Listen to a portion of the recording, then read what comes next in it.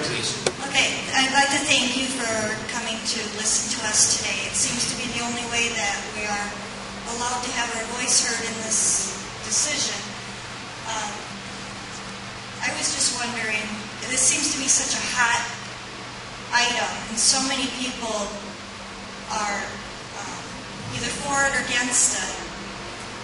But why is it that the government is making this decision for us instead of being brought as a vote for the all of the American people to have their voice?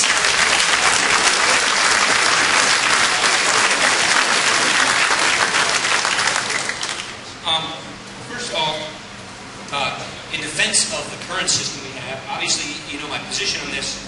This is a piece of legislation. It's going through Congress, which are your elected representatives. We have a republic. We don't have referendums. We, that's not at the federal level. You have them in Michigan, and we have those in Wisconsin. But we don't have an initiative and referendum system. We have a system where Congress writes the laws. And this is a bill moving through Congress. Now, I don't like the bill moving through Congress. I won't even get a chance to have my bill considered in Congress. Unfortunately, this is the bill that's going to be considered, and it is the way the system works. Um, let me say a, a point on what you originally said. Look, we're here at Craig. You know where I always do our town hall meetings in Janesville? I do them over in the City Hall chambers. You know, some. I think the last time we had a full house, we usually get about 75 people in our Janesville town hall meetings. I mean, it's amazing. I, I'm just so impressed, enthused, excited that people are taking interest. I have people coming up with copies of this legislation with their own edits on it and highlighters and dog ears on it. People are getting involved and taking notice that's a good thing. So if you think you don't have a, a say in your government, well, you do. You're here. Talking with one of your employees of the government, one of your representatives. Public opinion matters. Public opinion changes things. You affect public opinion. Your presence here affects public opinion, not just here in Janesville, but you know, people all around America. You can you can affect public opinion. So I would argue that our system still does, uh, on, whole, thrive on public opinion. Elections have consequences. The last elections gave uh, the Democratic Party a very big majority in the House, a very big majority in the Senate. Some people like that and a Democratic uh, president. They have the power to pass basically whatever they want to pass, as long as enough of them support it. And that is basically where they're headed right now. Um,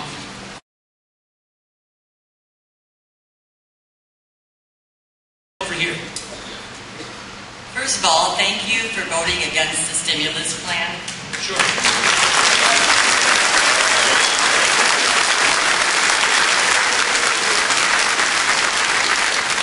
Really, all I want to say is, how do we stop this, the speed of this bill going through? How do we stop this so we can, you know, stop, take a breath, look it over?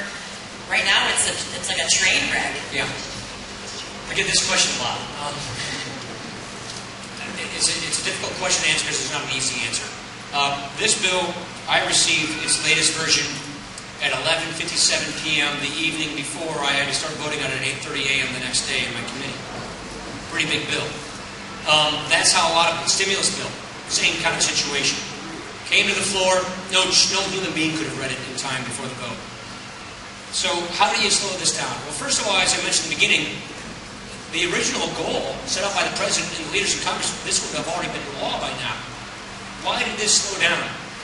It slowed down in the in the House because of one group of Democrats called Blue Dog Democrats slowed it down in the last week of July.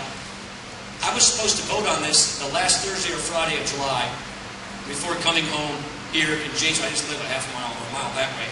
Before coming home for the August recess.